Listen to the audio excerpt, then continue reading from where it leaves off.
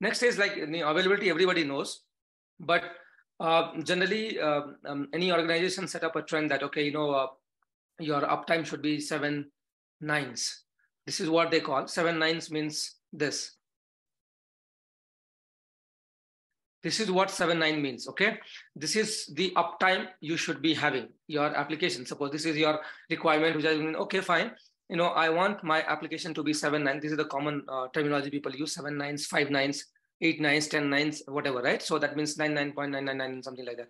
Now, in order to achieve these kind of availability, just imagine uh, your your system can only be not available for maybe one second to two seconds per year you know if you want to achieve something similar kind of uh, availability your system should not be down for more than one to two seconds in a year or one to two minutes in a year or something sort of right so this is what we talk about when we say the word availability right and what what is the definition of the availability when we talk about this 99.999% available, what does it mean?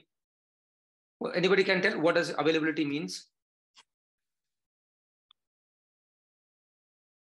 Application item. Sorry, application? Accessible. Okay, application accessible. So if application is accessible, it means available, right? Okay, so yes, uh, so what does it mean? The availability actually means is that, you know, when uh, you submit, it's not like, you know, uh, uh, you have submitted your request, uh, you know, just think about this. Uh, you know, that is the confusion people have it.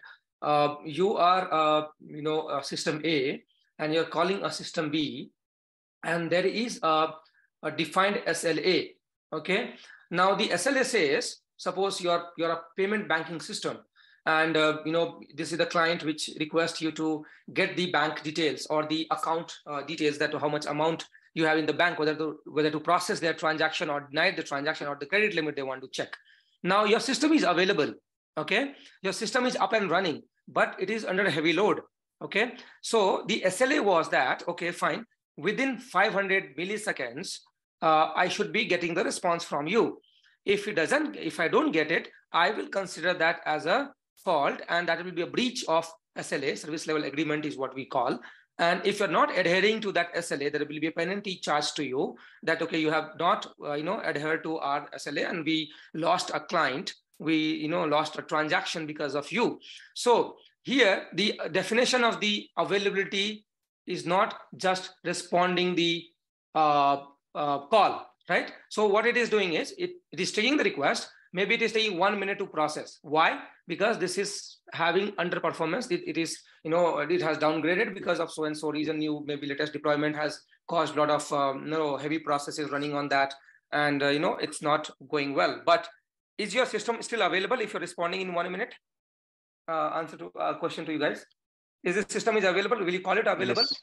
You system will call it available. available. But the availability definition changes as per the SLAs. So if you're not meeting the SLA, that means it's as good as not available, right? Because your client is configured in that way. Suppose this is a, um, a rule which has been set up in their system that, okay, you know, HTTP call will maximum wait for 500 milliseconds. Uh, and then after that, it will be timeout. All the request will timeout. And that means for application A, the B is as good as dead, right? Because you are, even though you are available, uh, it is not, right? It is not for A right? So what happens is you need to define the agreement, the uh, definition of the availability. You need to also define the SLA.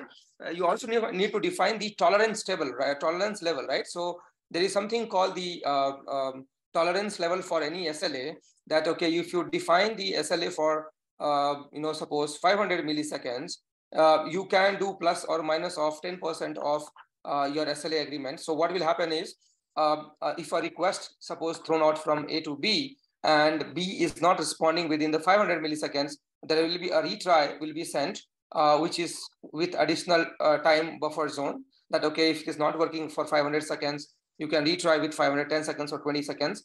And uh, that retry, sometimes again, it depends on there could be a three retries, right? And there is something called the exponential retries uh, you might be thinking why I'm going uh, such a deep, but I'll tell you when you get involved in the interview and you try to explain something, you might end up in a situation where you need to, you know, um, uh, explain all the uh, inside of it. Like, know, suppose your API is not responding, what you will do? What will be your answer? How you will handle it? So these are the things you should be talking about, right? So there is something called exponential retry. Anybody has heard of it? Exponential retry? Waiting uh, um, exponential yes. time and then retrying it. Yes. So the exponential retry means it is a very generic thought, right? That, you know, if you called one application right now and it didn't respond to you or it timed out, right? Um, so, you know, you, you tried at, you know, right now, then after that, you will try after a minute, suppose, just I'm giving a hypothetical scenario. Then after that, does it make sense to try next minute? Or does it make sense to try after five minutes? If five minutes fails, does it make sense to try in seven minutes? Or does it make sense to try in 15 minutes? If 15 minutes fail, does it make sense to try in 16th minute or 30 minutes? Right? So what happens is it is it is a general theory or it is a general thing that if some application is not responding you within a minute, there is a very likely, less likely that it will be responding in another two minutes also. So better you do either a Fibonacci, that Fibonacci series what we use, or there is exponential uh, uh, retry nature what you can do. And you, if you want to do a five retry, better have it like an exponential retry. Again, this all must should come under the SLA, whether you are really okay with that, generally the asynchronous job or a batch processing. When we do a batch processing, that can happen asynchronously in offline mode as well. So that is where you can do a multiple retry, doing some sync APIs, or mostly in those things where you can use the exponential retry. So this is the answer to that question. What kind of, and I, and I have been asked, and we also ask these kind of questions that how you will handle the retry. If you're calling an API and that API is not responding, what you will do, how you will handle these scenarios, right? So what, will be your answer? So that is, the, that is what the exponential retry or whether you are going to mark something or you do alert, when you will do alert, know, how to handle or suppress that alert in case of a false event or the real events. Okay, so so a system is available only when it is within the SLA, if the SLA is defined. If not, a system is as good as not available. Okay, so what if you are sending an email and it is taking one hour to send the email? Do you really think your SMTP server or that server will be still be connected? Your connection will be still be uh, active? It will not, right? You might get failure because of that, or your downstream services, which is expecting you to answer within 10 seconds, and you're still blocked on this above request, the upstream request, and your upstream itself is not responding back to you, there is no way you will be responding back to the downstream with the data. And it's like the whole chain has failed, right? So availability means also within the SLA. And that's what you call the availability when API able to respond to you with the expected result.